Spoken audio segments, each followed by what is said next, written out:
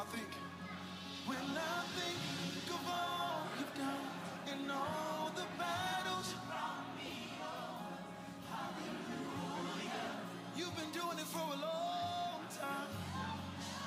How he never, how he never down. Now unto him who is able to keep me. Now unto him who is able to keep me. Now unto him who is able to keep me.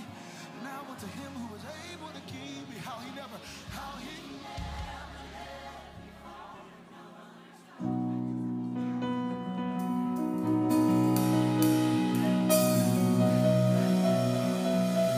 Praise the Lord, everyone. Can we stand?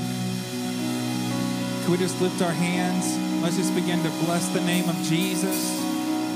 He's worthy in this place today. If you come to worship the Lord, would you open your mouth? Would you clap your hands and give him praise?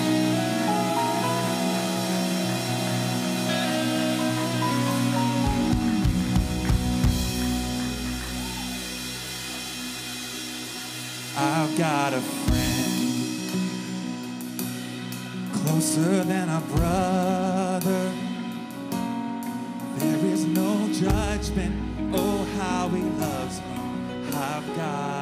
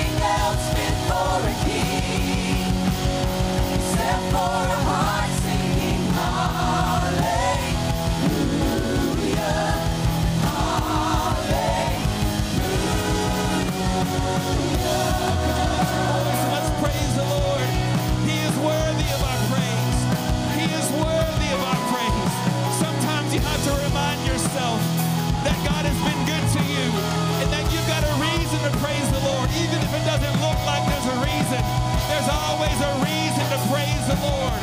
So say, come on, soul.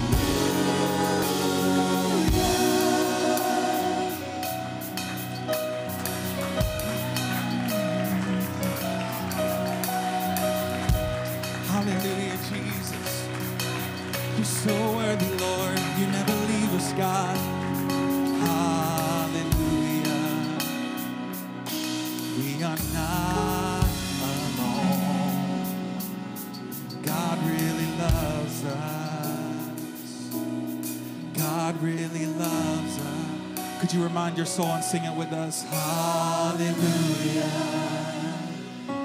Oh, praise my soul. God really loves us. God really loves us.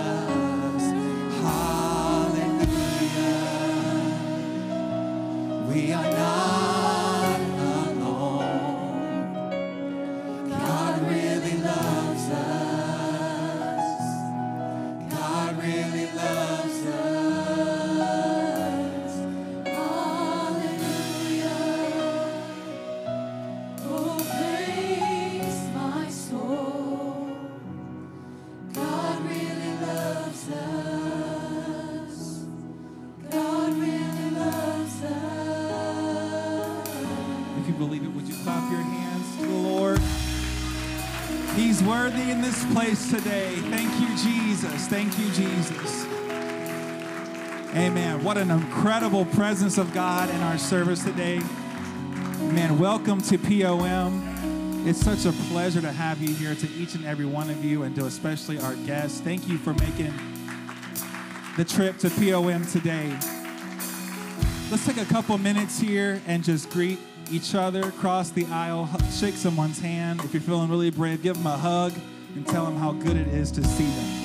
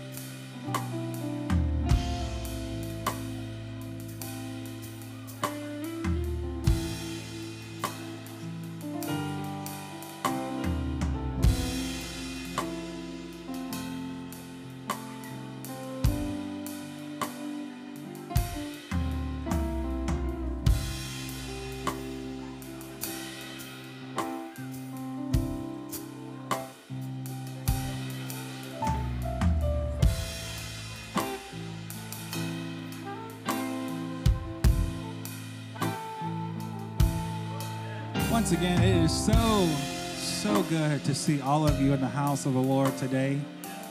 Thank you for being at POM. We love that you, if this is your first time here, we hope you love it and you want to stay forever. Amen. You can return to your seat and be seated. Uh, we're going to go before the Lord in prayer before our ushers receive our offering today.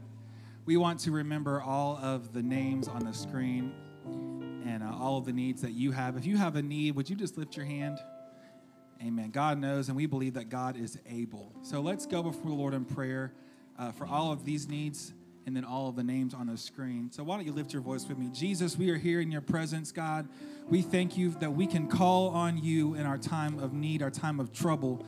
And God, you are a deliverer, you are a healer, you are a waymaker. God, you give us peace that passes all understanding.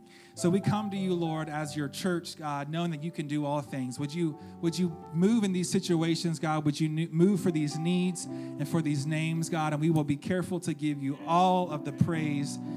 In Jesus' name we pray. Bless this service, the remainder of this service, and this offering in Jesus' name.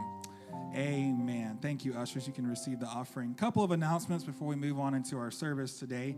Immediately after church, there's going to be a bake sale outside supporting Mother's Memorial. Who wants to take home some baked goodies on your way out the door? Amen. Even if you don't need it, that's okay. You do need it. You need to buy it. And if you can't eat it, give it to someone who will.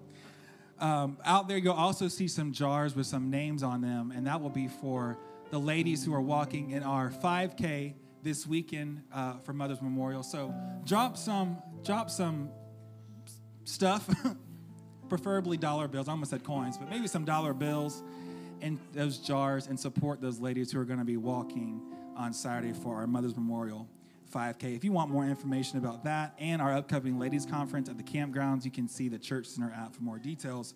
There's also a ladies' tea happening on Saturday, May 4th at 12 o'clock. This is for ages 16 and up. Lunch will be catered by Chicken Salad Chick. Any Chicken Salad Chick fans in, in the house? They have good cookies. Um, and our guest speaker is Sister Arlene Morel, Morel uh, from uh, um, Higher Praise Tabernacle in Covington. Lunch tickets are $12, and the deadline to get those is April 28th, next Sunday. So make sure you get those ladies. And if you have any questions, there's a sign up sheet in the floor. You can also talk to the hostess. Also, I can't believe, well, I, I'm excited as a teacher. I know all of our school staff and teachers are excited as we approach the end of the school year.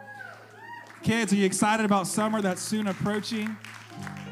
Well, one of the things we're excited about happening in a few weeks is our graduation Sunday, and we have several graduates that we want to honor on that day. So if you have a graduate in your family, or you are graduating high school or college, uh, check out the form on, on the Church Center app, and you can be part of that recognition in that service. And we would love for you to, to celebrate that accomplishment for you. Also happening in summer is our VBS, and Sister Courtney Moore is coming to give you some more information about VBS. Give it up, kids. Are you excited about VBS? Praise the Lord, everybody. It's so good to see you today. Um, I'm here to tell you about an exciting event that we have coming up, and that is Vacation Bible School. Do I have any kids excited about VBS? Grown ups excited about dropping off your kids, going grocery shopping by yourself? Yes. Um, we are so excited. Our POM Kids team has already been working and preparing and planning so hard and getting everything ready for VBS this year. It is June 3rd through the 5th, and registration is free. VBS is this year for students all ages 2 to 12. We have added in a toddler class this year, so any students ages 2 to 12 are welcome to join us for VBS. While registration is free, you can order a VBS t shirt um, on our registration. When, when you register, you can also order a t shirt. It's not required, but if you would like a t shirt, we do have to have that order in by May the 5th. So while registration is free, you can order a t shirt as long as that is in by May the 5th. That's when you can guarantee that. So you can register for VBS on the Church Center app or on our website, thepom.church. And we are so excited about VBS, and we cannot wait for you to join us on our jungle journey. Amen. Our choir is going to sing and lead us in some worship before we dismiss our kids and Pastor comes to preach. So, would you stand and just let's enter into another time of worship?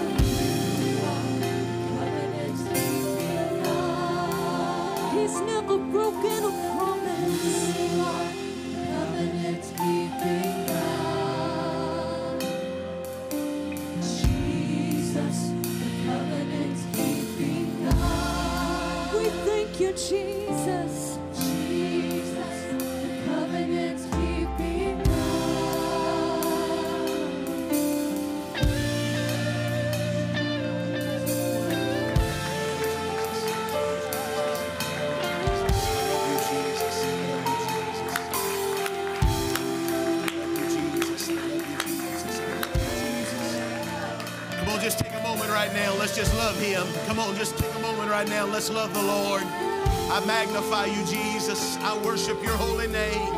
You are great and greatly to be praised. There's nobody like you, Lord.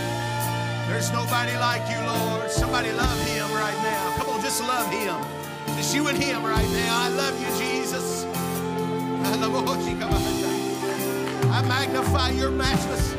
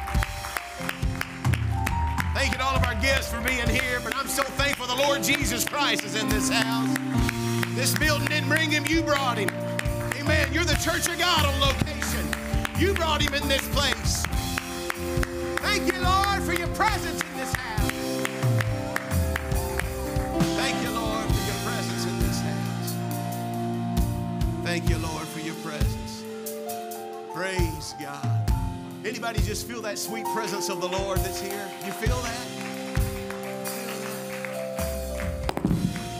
Thank you, Jesus.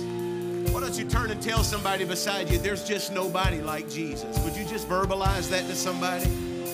Tell them, there's just nobody like Jesus. There's just nobody like Jesus. There's just nobody like be-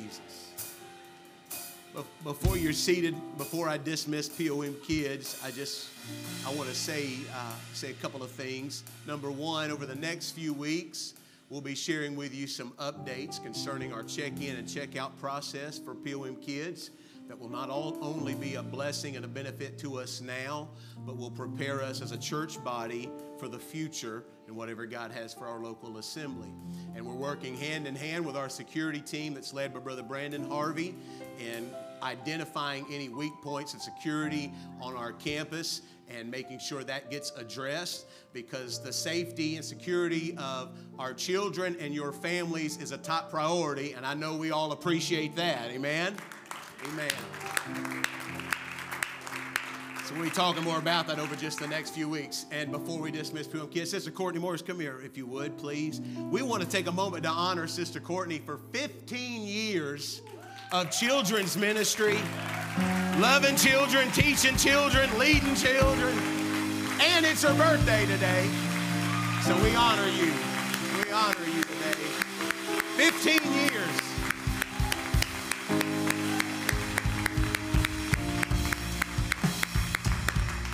thank God for Sister Courtney and the eternal impact she's made in the children's ministry in 15 years is worthy of honor. We thank God for that. POM kids, you can be dismissed in Jesus' name. God bless you today. Amen. God bless our children and our teachers in Jesus' name. Praise God. Sweet presence of the Lord. Presence of the Lord. Amen. Let's just pray and ask the Lord to speak to us. Would you, Lord? Thank you for your mercy and your grace. Thank you for your presence we feel. I ask you, Lord, that you'd speak to our hearts today and let your word fall on fertile soil. Let something that is said, God, let it take residence in our heart and our life. There's nothing like your word, and we give you praise and glory and honor. Thank you for being here, God. But I don't want to just be a hearer, I want to be a doer of your word. I want to receive it with gladness, the engrafted word of God that is able to save my soul. Bless your people today in the name of Jesus. And everybody said, Amen. God bless you. You may be seated in Jesus' name. Amen. I'm just, just going to just talk to you today and. Uh, Revelation chapter 19. I'm going to read just a few different scriptures so you can remain seated. That we're going to Revelation chapter 19, 9 through 10, and then we're going to go to John 10 and 10. Amen. Thank you, Brother Aaron. Revelation 19, 9 through 10. And he said unto me, Write, blessed are they which are called unto the marriage supper of the Lamb. And he said unto me, These are the true sayings of God. And I fell at his feet to worship him. And he said unto me, See thou do it not. This was an angel that went to visit John. He said, Don't, don't, don't do that. Get up. I, I'm your fellow servant and of thy brethren that have the testimony of Jesus. Worship God for the testimony of Jesus is the spirit of prophecy. I want to just point out because I want to circle back to it at the very end. He said, Get up, get up, John. As an angel visited John on Patmos, said, Get up, get up, John. Don't worship me because I'm, I'm, I'm, I'm of their, yeah, thy brethren. I'm your brother. John 10 and 10 said, The thief does not come except to steal and to kill and to destroy. I have come that they may have life and that they may have it more abundantly. The thief comes and he's going to steal, he's going to kill, he's going to destroy. But I have come that they may have life and that they may have it more abundantly. Brothers and sisters, we better be very thankful that the God we serve today is a restorer. He is a restorer. And, uh, and so I want to preach to you today about restoration because the God we serve is a restorer. The enemy comes to steal, kill, and destroy. Some translations say kidnap, kill, and then mutilate. The enemy of your soul is going to do everything he can to destroy you. It was not by chance that the false prophets of Baal would cut themselves. When they took Samson, they did not just chain him up, they plucked his eyes out. The Bible says that the demoniac of Gadara would cut himself. So the enemy is out to steal, kill, and destroy. But I want you to look at a very powerful passage of scripture in Amos 3 and 12. Thus says the Lord, as the shepherd takes from the mouth of a lion two legs or a piece of an ear, so shall the children of Israel be taken out who dwell in Samaria. The rhyme says that all the king's horses and all the king's men couldn't put Humpty Dumpty back together again. But we're not talking about just any king today, brothers and sisters, because according to that verse right there, the Lord that we serve has the ability, if all you've got left is a leg or the piece of an ear, He can put your life back together because the God we serve is a restorer. He is a forgiver. And that's why we, as brothers and sisters of the household of faith, we better forgive and we better restore. The Bible says, You which are spiritual, restore those that are messed up, restore those that make a mistake, restore those that act like a jerk. And maybe you did a thousand things wrong, but if you'll just do one thing right, it can change your life forever. Amen because the God we serve is a restorer. So you need to stop holding things over people's heads and stop bringing up things that happened six years ago or six weeks ago or six days ago. Put it under the blood, stop talking about it, and let's move on because there's plenty of self righteous people walking around that's giving judgment and withholding mercy. But you do not want to live your life like that. You want to withhold judgment and you want to give mercy because the Bible says that with whatever measure you use, the same measure is going to be used against you. And there's too many people with just a thimble full of mercy, but they've got buckets full of judgment. But today, in Jesus' name, you need to switch that around and you need to start carrying buckets of mercy because that's the measure that's going to be given to you when you need mercy. And I'm just going to go ahead and tell you today you need mercy today, and we need mercy tomorrow, and we're going to need mercy next week. So I'm going to give mercy because I need mercy. Amen. So that's why I'm going to make up in my mind. It don't matter what's in your past. It don't matter what mistakes or terrible judgment calls you may have made in the past. When you decide to truly serve Jesus Christ, when you give your life fully to Jesus Christ, it changes everything because there may be only a few pieces left to work with, but Jesus Christ knows how to put your life back together again.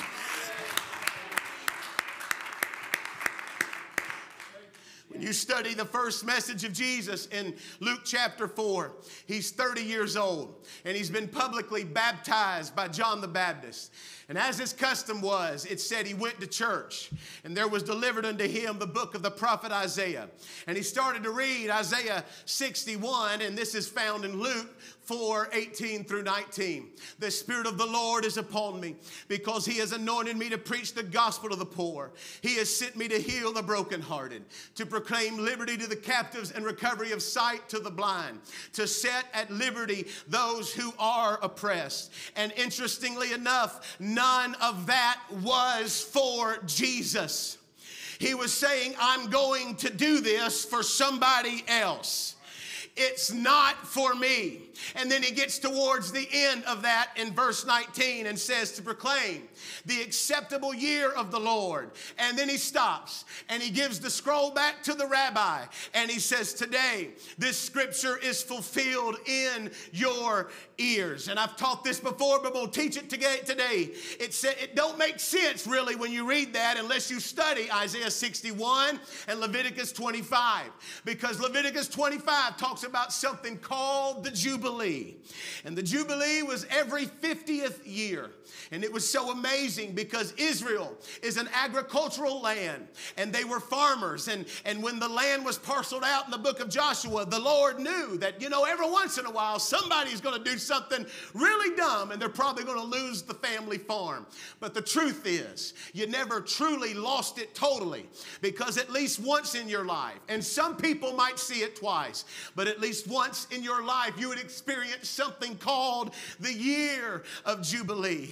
And it was an entire year of restoration, which meant that every day of the year, somebody was getting something back that they thought was gone. So it was Jubilee. It was just an entire year of worship and gratitude and favor. And it's also apparent that the first year of the ministry of Jesus was a Jubilee year in the land of Israel because Jesus stuns everybody in the room when he says, You're never going to have to wait 50 years again because I am your Jubilee. I am your restorer. Amen.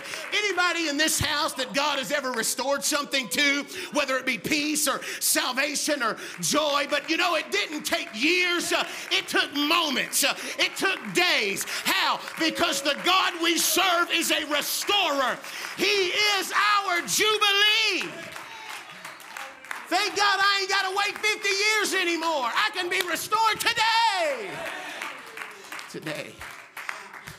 And when you study the book of Exodus, Exodus has 40 chapters, but it really can be divided into three large segments. 1 through 19 of Exodus is the deliverance, 20 through 24 of Exodus are the rules or the disciplines the commandments. But then starting in 25 through 40, all these chapters are dedicated to the tabernacle life of Moses. So there's a concept here that, that it's, it's first, it's deliverance, and then there's discipline, and then there's church life. So it's deliverance, it's discipline, and it's devotion and it's still God's pattern today. But we got to be very careful, and I'm on pastor today. We got to be very careful that we don't get these things confused because some people can be really quick on the trigger and you want to make sure that they learn all the rules, but you got to learn to stand before you can walk. So the first thing that's got to happen is deliverance. Everybody say deliverance.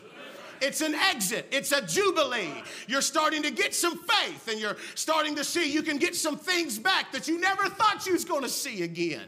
Love and peace and joy in the Holy Ghost. And then yes, there are disciplines involved in this thing. And then a big part of it is church life, getting involved working in the kingdom of God. And so it's very obvious that when he begins his ministry, he begins it with this whole concept of restoration restoration. It's like when you read Exodus 22. If you stole somebody's ox, the ox in that day would be like your John Deere tractor. If you stole their ox, that's a pretty big deal. You can't just give one ox back, you got to give five ox back. If you stole their sheep, you couldn't give one sheep back, you had to give four sheep back. So David's pastor Nathan confronts him about the rich man who went across the fence and stole his neighbor's one sheep. And David said, I will make him pay back four times. And if you study the life of David, he paid back four specific times because he stole his friend's sheep. It says if you stole money, you got to give twice as much money back. But understand the difference in the Old Testament that it was is that it was the thief that was doing the restoring. But in the New Testament, it's the one that was stolen from that's going to be doing the restoring. And so there's this beautiful, powerful scripture in Joel 2 and 25 that says, And I will restore to you the years that the locust has eaten, the cankerworm, the caterpillar, and the palmer worm. I will restore to you the years that the locust, the cankerworm, the caterpillar, the palmer worm. And really, what this is, is the four stages of the metamorphosis of the locust. And that's very important for you to know today because one of them eats bark and then one of them eats fruit, and then one of them eats leaves, and then one of them eats buds. So when this thing had gone through the entire life cycle, it had basically stripped the tree down to nothing. You got no bark, you got no buds, you got no fruit, you got no leaves. But none of them were root eaters. And that leads me to another wonderful scripture in Job 14, 7 and 9 that says, For there is hope for a tree. If it is cut down, that it will sprout again, and that its tender shoots or branches will not cease. Though its grow, root grows old in the earth, and its stump may die in the ground, yet at the scent of water, it will bud again and it will bring forth branches like a plant. You hear me today, my brothers and sisters. It may look hopeless, it may seem dead, but I've come to preach to you. It's time for you to smell the water. I smell the scent of water in this house today. It might look hopeless, it might look dead, and the leaves might be gone, the branches might be withered, there might not be no bark, but there's some roots down there, and just at the scent of water, though a tree has been cut down, there is hope. Hey, if I can just get to the water, if I can just get to the water, that a tree can live again. And that's why Jesus told us in John 7 37 if any man thirst, let him come unto me and drink. For there is hope for a tree that even if it's been cut down, even if there's been mistakes and failures and disappointments in the past, yet at the scent of water, it can bud again. oh, thank you, Jesus. Thank you, Jesus. Thank you, Jesus. It's so interesting to note that the prophecy I read to you from Joel, it doesn't say I'm going to give you back your orchards, I'm going to give you back your trees. I'm going it says I'm going to give you back the years. And here's what I want you to understand. This is a prophecy about the church because you have this amazing church in the book of Acts. Peter said, We were eyewitnesses of his majesty. Now, if you go to court and you're an eyewitness, that's a very big deal. Uh, it's not circumstantial. No, I saw it. And Peter said, I saw him raise the dead. I saw him heal. I saw him walk on water. But he said, eventually, we, us disciples, we're going to die. And even Paul said, there's going to be people that's going to come after us and they're going to teach the commandments of men like they were the doctrines of God. And that's exactly what happened. What happened was the bugs got into the church and started eating stuff So I want you to slow your mind right now to a thinker's pace and let me teach you. Because the bugs got in and started eating things up. So a few years go by, and now they're baptizing babies. And you don't want the babies to drown, so let's not immerse them, let's sprinkle them. And so the first thing, baptism by immersion, it gets chewed up. And then the mighty God in Christ, it gets chewed up. And then the infilling of the Spirit, now it's gone. Baptism in Jesus' name, it's gone. So when you get to what uh, is called the Dark Ages, the political church at that time became one of the greatest book burning institutions in the history of the world. So you have this Catholic priest by the name of Luther. And he's up teaching in one of their seminaries one day. And he's teaching his students from the book of Romans. And he makes this connection, and God gives him revelation.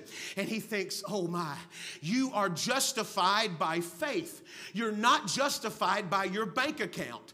And so Martin Luther took a stand against what was going on at that time because the church was in trouble and the church needed money. And so they manufactured something called purgatory.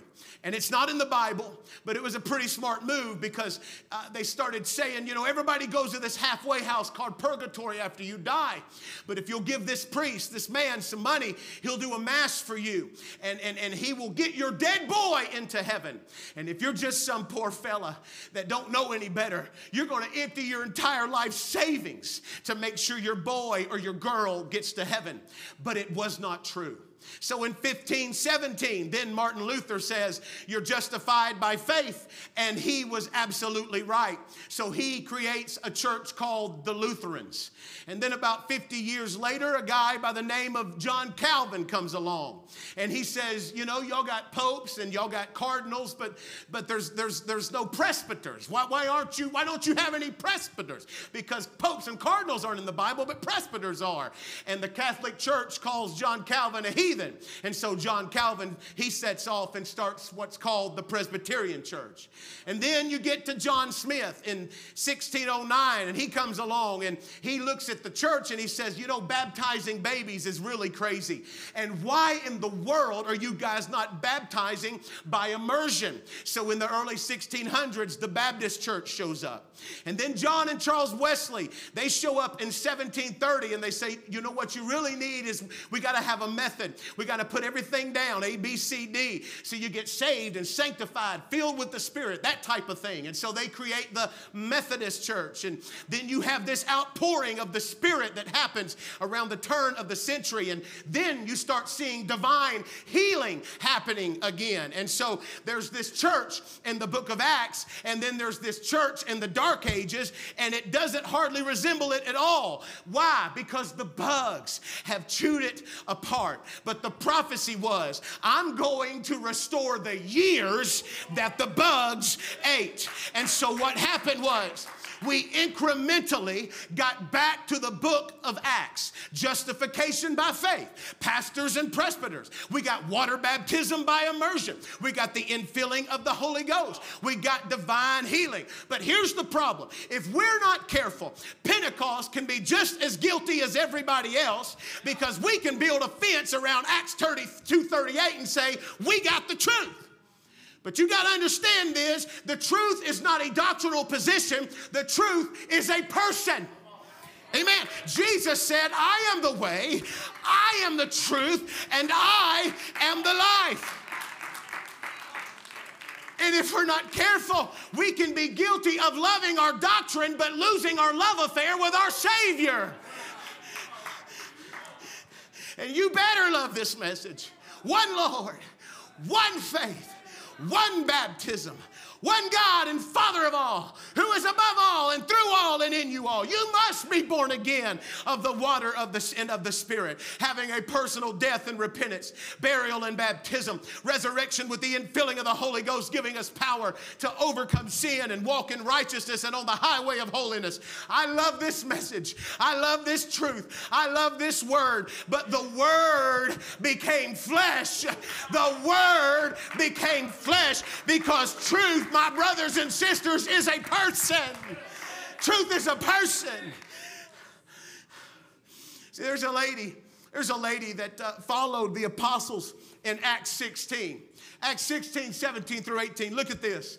This girl followed Paul and us and cried out, saying, These men are servants of the Most High God who proclaim to us the way of salvation.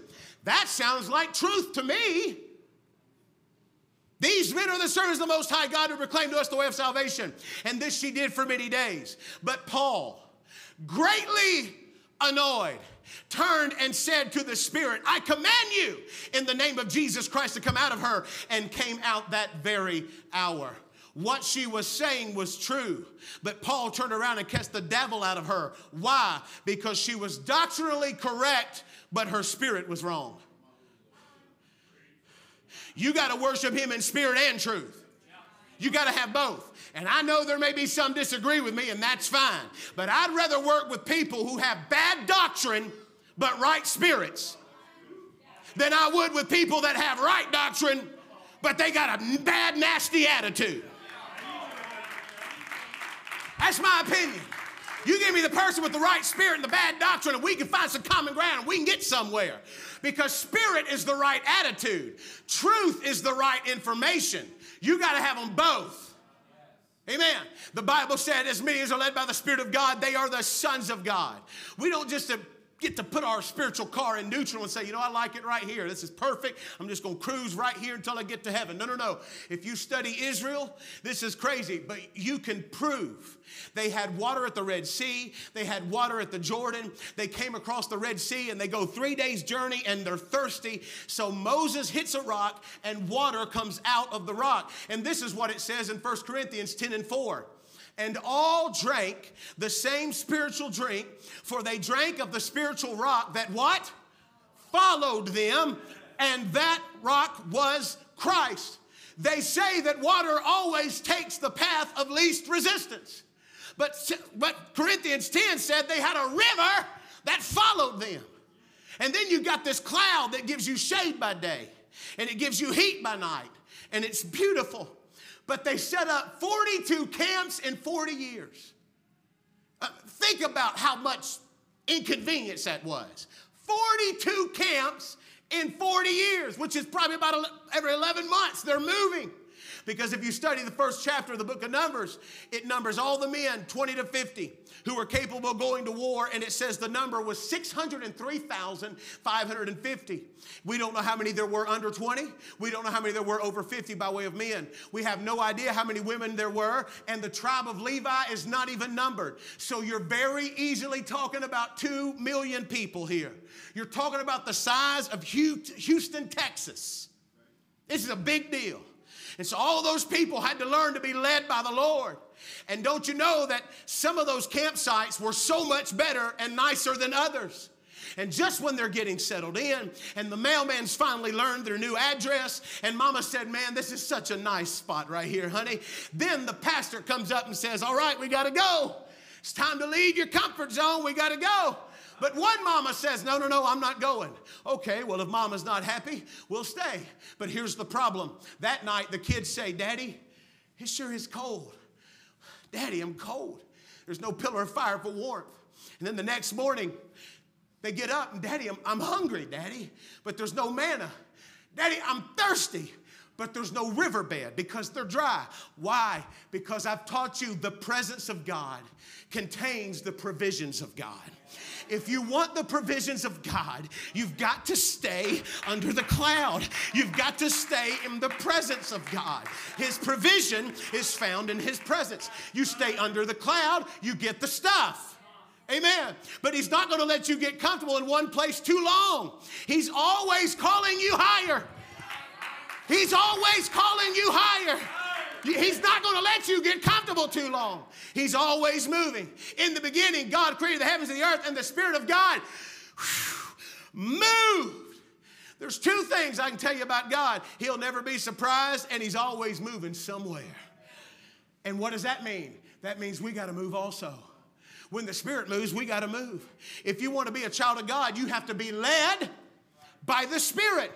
You can't just say, oh, I like it where I'm at, because after a while, all you're going to see is smoke and taillights because the church is going on. Amen. That's why I can't afford the luxury of staying in comfort zones, because everything that God builds grows. For instance, the tabernacle of Moses. I want to show you this. This is just a tabernacle pattern. This is a tabernacle for us today. If you look at the tabernacle of Moses, it's got a holy of holies, 10 cubits by 10 cubits by 10 cubits. But then 1 Kings 6 tells us the holy of holies in Solomon's temple is 20 cubits by 20 cubits by 20 cubits. So it's twice the size. That's why you get this verse, Haggai 2 and 9. The glory of this latter house shall be greater than the former, saith the Lord of hosts. And that's not only the reality with the tabernacle, it's a prophecy to the church because Acts 2, that's our ancestors. That's the former church. But the glory of the church today is going to exceed the church in the book of Acts. And if you don't believe that, I can, I can tell you about a picture that I personally saw at Brother Arnold's church in Florida, where Brother Kleinitz and Billy Cole preached to 600,000 people in a church in Ethiopia, and over 100,000 of them got the Holy Ghost in one day one day. And you may say, well, oh, well, you know, how do you know they had that many? Let me tell you why. Because they have what they call the book of life in Ethiopia. And when you get the Holy Ghost in Ethiopia, they want to know what your name is, they want to know what your parents' names are, and they want to know your grandparents' names. So they're not just flying by the seat of their pants. And in that one service of the outpouring of the Holy Ghost was bigger than anything we see in the Bible because the glory of the latter is going to be greater than the former. Brothers and sisters, you, and I know sometimes it's kind of hard for us, but we got, I'm trying to stretch us today. I'm trying to stretch and say God wants to do some things in us and through us that we ain't even heard about in the Bible and that it sees anything you've read about in the Bible. Hey, I'm doing something that none of the uh, disciples ever did. I'm preaching in Georgia today. None of the disciples ever preached in Georgia. Amen. Hallelujah. I'm going to tell you, God wants to use you in ways and in areas that nobody else was used because the greater, the glory of the latter is going to be greater than the former. And He wants to do it through us. Amen. And God is challenging us. I feel a challenge in my spirit from the Lord to move today. Amen. To stir up that gift that has been placed in you because the glory of the latter house is going to be greater than the former. And it's up to you. It is absolutely up to you. You're going to have to choose because this is about hunger. This is about desire. This is about the lost. This is about seeing God do something in you. But it doesn't stop there. He also wants to do something through you for people that you don't even have names for and for people that you don't even have a face for yet. That's what God wants to do. Amen. Amen. Look at Hebrews 7 1 through 2. For this Melchizedek, king of Salem, priest of the Most High God, who met Abraham returning from the slaughter of the kings and blessed him, to whom also gave a tenth part to all, to whom all Abraham also gave a tenth part of all. Verse 4. Now consider how great this man was, to whom even the patriarch Abraham gave a tenth of the spoils. He paid his tithes. And indeed, those who are of the sons of Levi, who receive the priesthood, have a commandment to receive tithes from the people according to the law, that is, from their brethren, though they have come from the loins of Abraham. But he whose genealogy is not derived from them received tithes of Abraham and blessed him who had the promises. Verse 7 Now, beyond all contradiction, the lesser is blessed by the better. Here, mortal men receive tithes, but there he receives them, of whom it is witnessed that he lives. Even Levi, verse 9, who receives tithes, paid tithes through Abraham, so to speak, for he was still in the loins of his father when Melchizedek met him. Even Levi, who receives tithes, paid tithes through Abraham, so to speak, for he was still in the loins of his father when Melchizedek met him. Now look at Exodus 20, and I'm going to come back to that. Exodus 20 and 5. You shall not bow down to them nor serve them, for I, the Lord your God, am a jealous God, visiting the iniquity of the fathers upon the children to the third and fourth generations of those who hate me, but showing mercy to thousands, to those who love me and keep my commandments. Abraham is first, Isaac is second, Jacob is third. Levi, first, Abraham is first, Isaac second, Jacob's third, Levi is fourth. It's third generation, though. Levi is third generation. So Levi is the great grandson. My son's Isaac, my grandson Jacob, my great grandson Levi. Levi is the great grandson of Abraham. And according to Hebrews 7, when Abraham paid tithe to Melchizedek and gave 10% to that priest, he literally put credit on the account of his unborn grandson. And when Levi got ready to pay tithes for the first time, it wasn't really his first time. He already had credit on the books because of what his grandfather had done. So I want you to hear me. You and I have the ability to affect our children and our grandchildren, and they may not even be born yet. This is not just about us. I'm trying to push some stuff through you. It is not just about you, it's about others, it's about your family, it's about people you do know, and it's about people you don't know. For the promise is unto you and to your children and to those that are afar off. It's not just about us. I am not living how I live and doing what I do just for me, it's for others. That's what ministry is all about. Jesus came, what he came to do was for others. He did not come to be served, but the Bible says he came to serve and to give his life a ransom for many and to restore his people back into relationship with him. Why? Because Jesus Christ is in the restoration business, which means that the POM better be in the restoration business. And the question is do we want to be like Jesus or not? But if the answer is yes, then we better start serving others. We better serve the Lord with gladness, not out of drudgery, not out of, oh boy, I got to get there early again, I got to do this again. No, no, no. Don't you let the devil lie to you.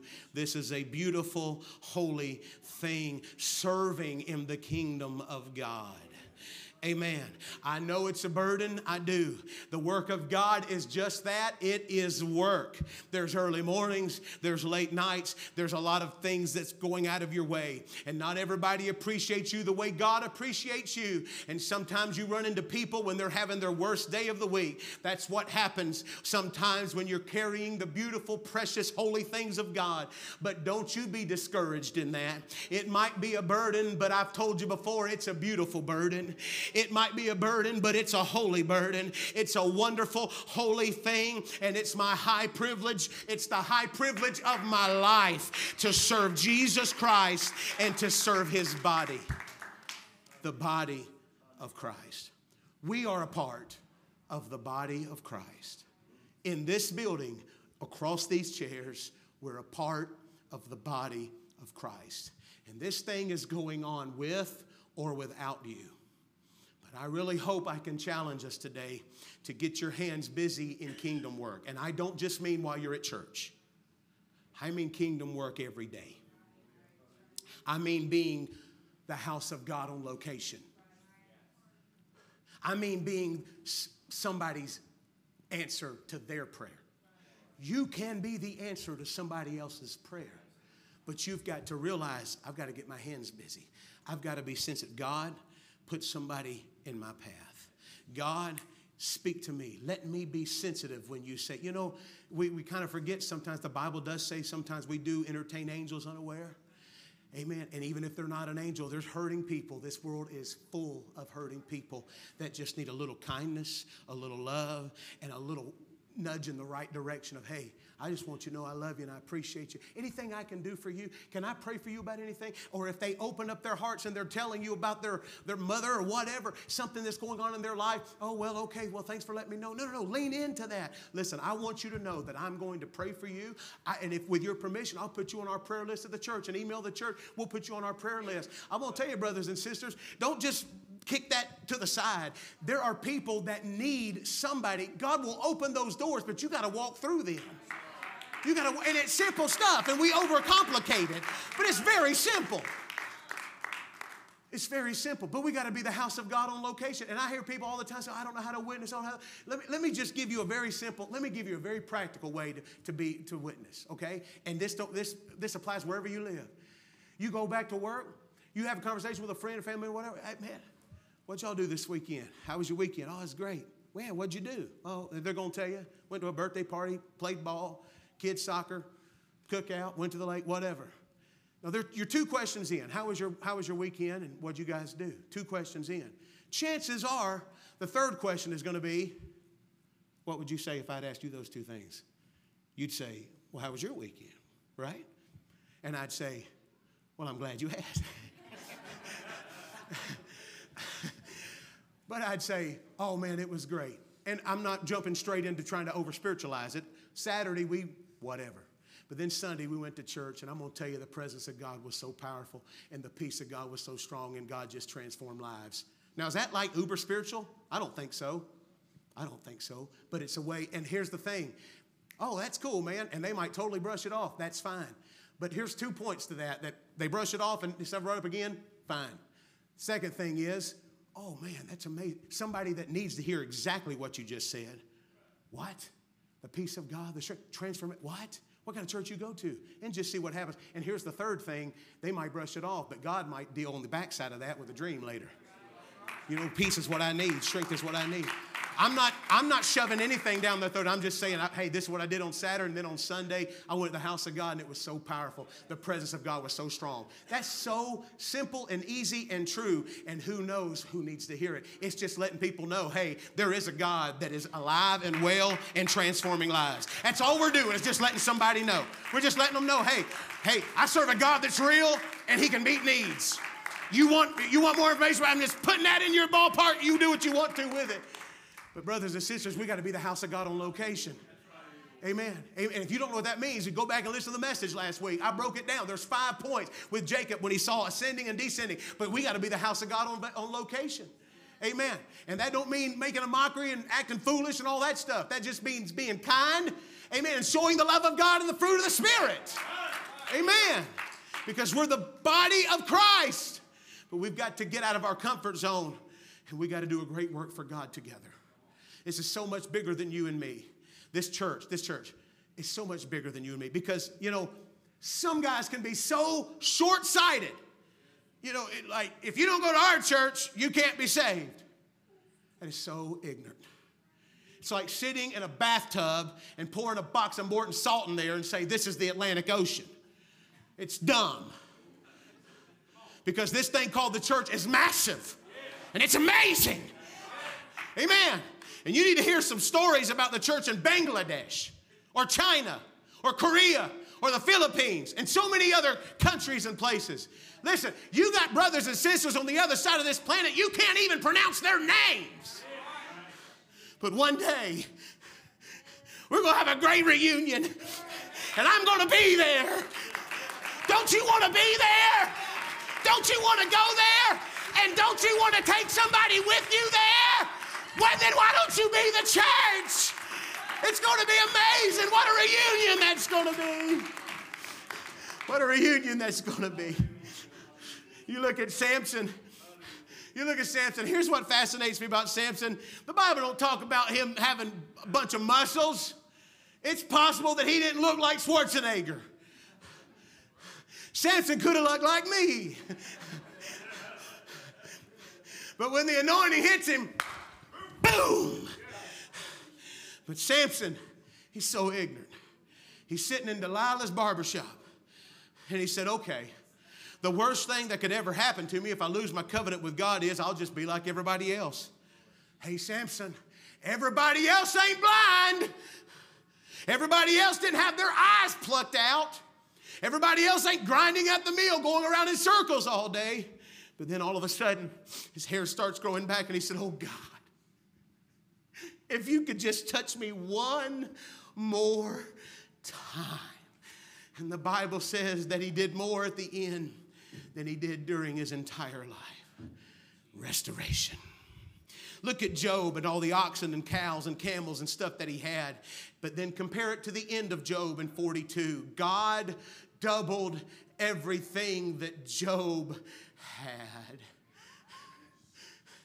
Hast thou considered my servant Job? What kind of relationship with God do we have to have for God to give a recommendation to the devil for you going through a trial? Hast thou considered my servant Job? But God put, He covered him and He gave him back twice what he had in the end because He's a God of restoration. And you can take this whole concept of restoration throughout the entire Word of God, and it's absolutely fascinating. Consider the first murder in the Bible one brother jealously killing another brother. So, in my opinion, it's not a mistake. First murder, two brothers, brothers, brothers. It's not a mistake that when Jesus began his ministry, he chose not one, but two sets of brothers Andrew and Peter, James and John. They got names for these guys the sons of thunder. It's probably talking about their zeal. And there's three powerful conversions in Acts 8 through 10. Acts 8, there's the Ethiopian eunuch, which is a massive conversion. In, Acts 9, it's Saul, another major conversion.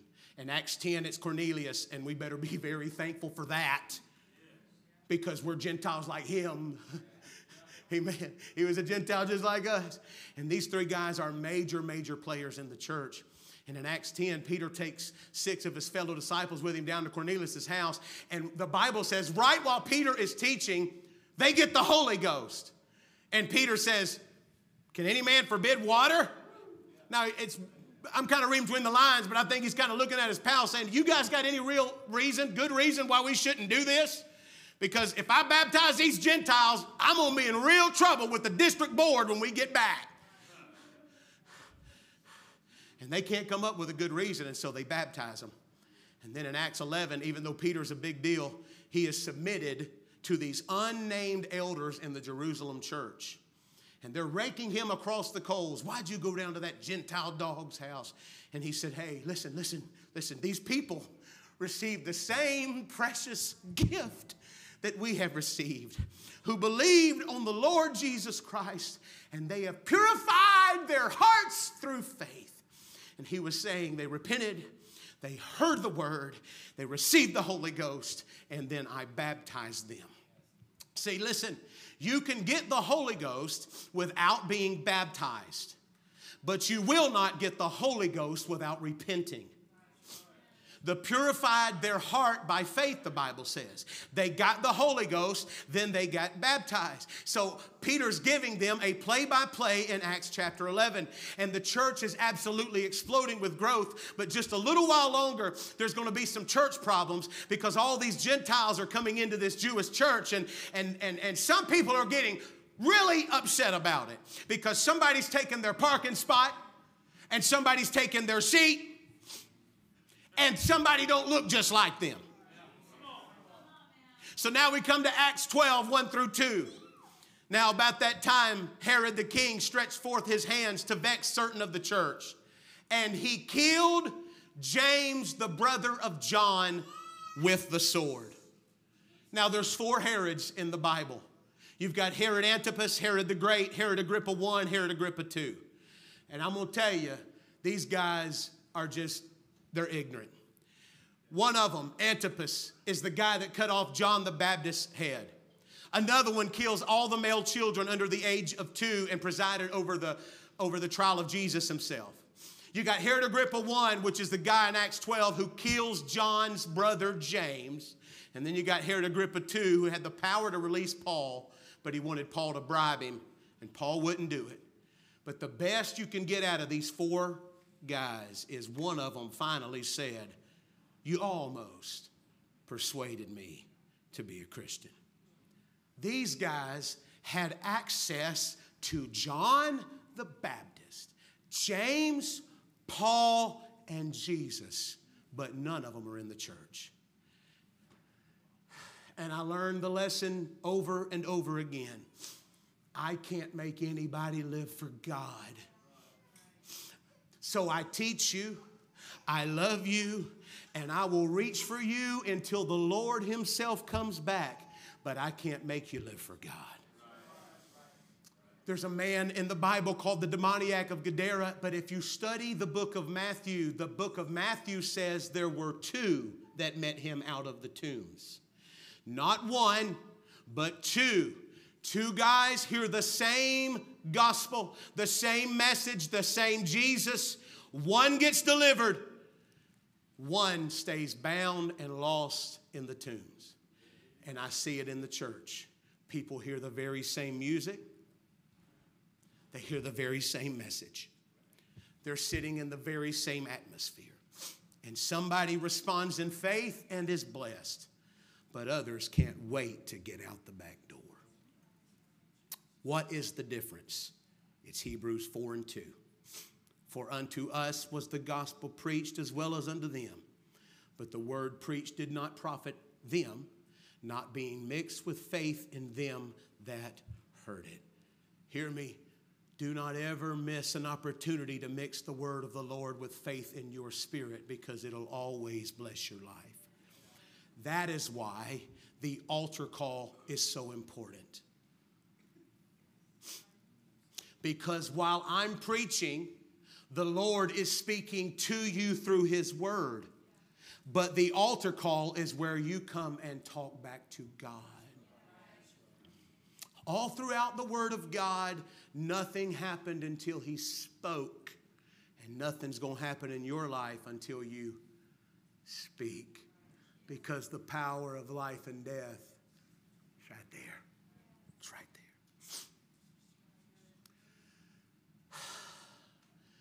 When James is killed in Acts chapter 12, it was a it was a blow to the church because this was one of the original 12 but more than that it was one of the original 3 because it was always Peter, James and John.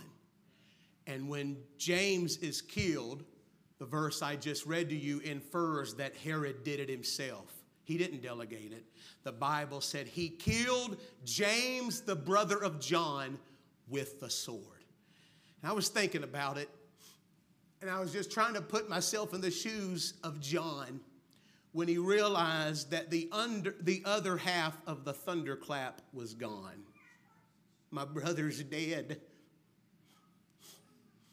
And so John's read, uh, uh, writing the book of Revelation, and there's seven no mores there. Six of them, they make perfect sense. There'll be no more death, there'll be no more sorrow, there'll be no more crying, there'll be no more pain, there'll be no more curse, there'll be no more night there. But then in Revelation 21, he says, There'll be no more sea. All of the others make sense to me. We can all get that. But you have to realize that John is on an island called Patmos. It is the Alcatraz of his day. And you don't need dogs and you don't need guns. You can't leave because the currents of the Mediterranean Sea, you'd absolutely drown.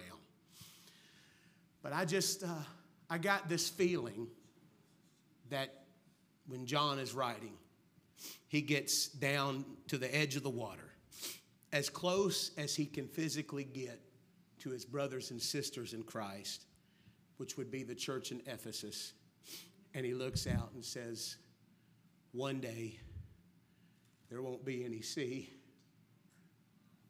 There won't be anything separating me from my brothers and sisters in Christ. Brothers and sisters, we better be thankful for the house of God, the body of Christ. There's nothing like the body of Christ. All throughout the book of Revelation, there's all these encounters you can read about, and I'm not a- an expert on the book of Revelation. But all throughout the book of Revelation, John has encounters with beings, these angels, and it's, it's so amazing.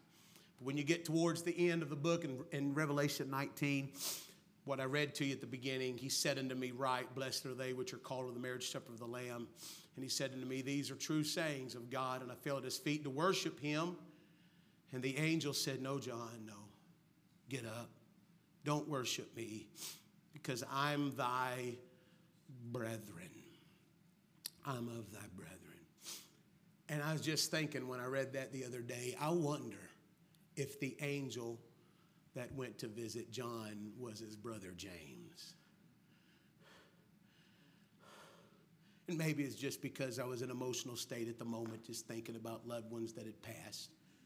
But I want to tell you this if you have a loved one that served God and has went on to be with the Lord and you want to see them again, serve the Lord with gladness because there's going to be a great getting up morning. And we're going to have a reunion like you can't even imagine. And I was thinking about uh, this past Wednesday night was anniversary. Just a great lady and that just blessed my life and blessed many of you. But uh, this past Wednesday night was anniversary of the last service. Sister Chris was in church, and what a tremendous woman of God she was. And her and my mom was just great friends, and they were just amazing ladies. And I just thought about that and how they just, both of them, showed us how to go to heaven right. And so I just thought, you know, I want to do this thing right because it's how you finish that counts. Because I don't want to preach the gospel to you and then come out myself a castaway. And so I want to make sure I finish strong. I want to make sure I keep the main thing the main thing. Because there's people I want to be reunited with in heaven. And heaven's sweeter every day. And I want to see my Lord and Savior Jesus Christ. I want to be with Him. And so I'm trying my best as your pastor just to provoke your mind and just try to nudge you to say, let's live for God. And, and, let's serve God and let's serve other people. And let's worship God together. And let's weep with one another. And let's rejoice with one another and let's encourage one another and let's love one another. Amen. Let's do life together.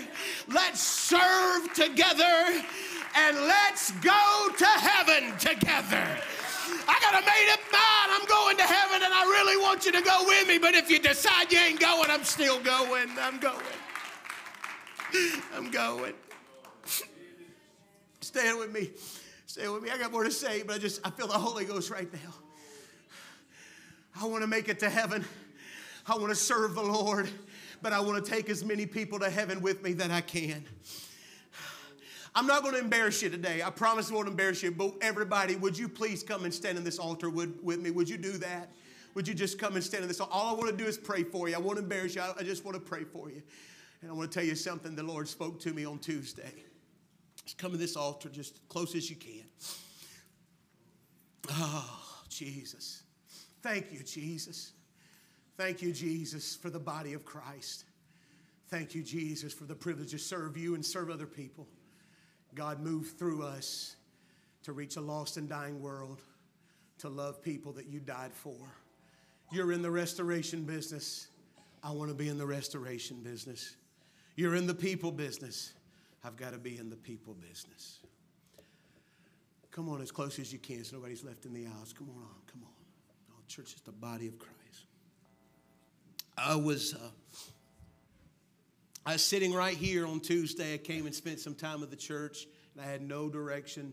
And I had to get it because I was leaving to go out of town, and uh, had no direction for today. And the Lord, I feel like the Lord spoke to me right here and said, "Remind my people that I am a restorer."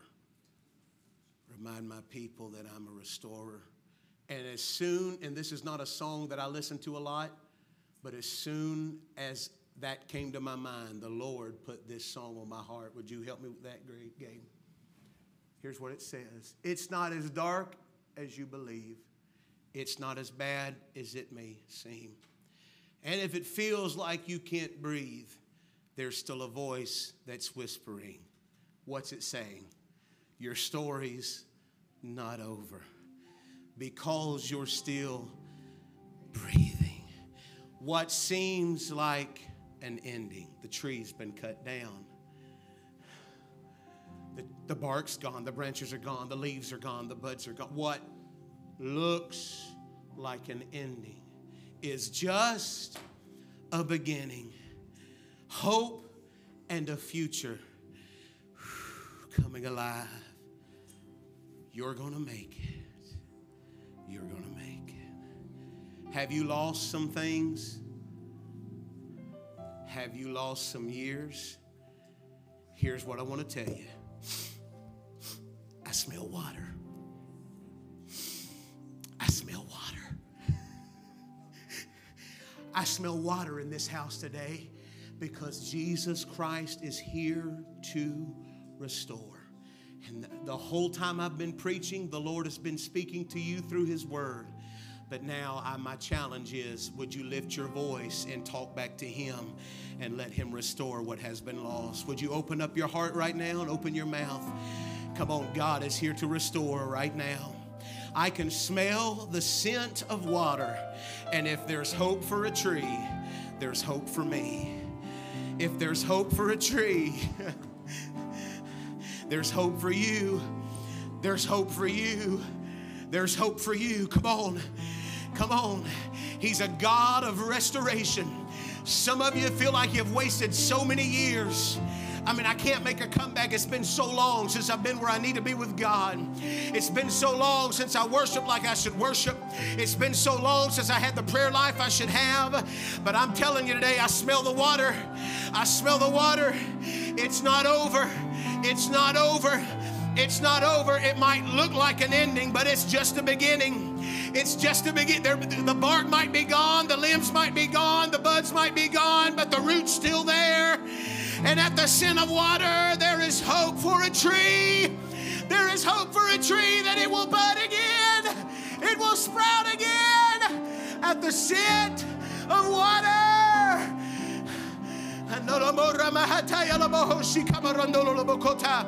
If appropriate, I want you to link with somebody beside you, man to man, lady to lady, husband to wife, ministry. Help me right now.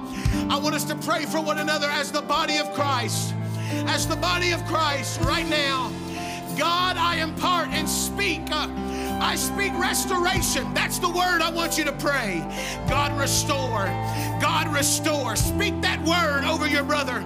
Speak that word over your sister. God, restore my brother. Restore my sister. Restore everything that's been taken away. Restore the years. Restore the joy.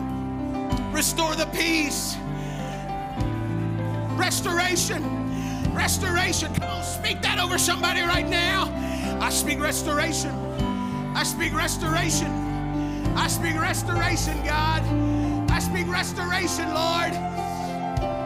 I speak restoration, Lord.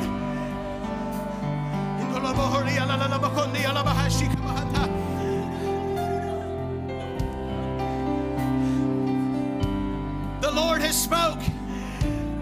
And if you'll speak, you're going to see something happen.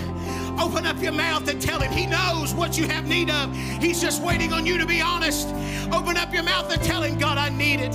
I need strength in my life. I need peace in my mind. Tell him what you need. Make your petitions known unto God. Come on, he's a God of restoration. And at the sin of water, at the sin of water, there's hope for a tree. There's hope for a tree. There's hope for a tree. Reach over and pray for somebody else right now.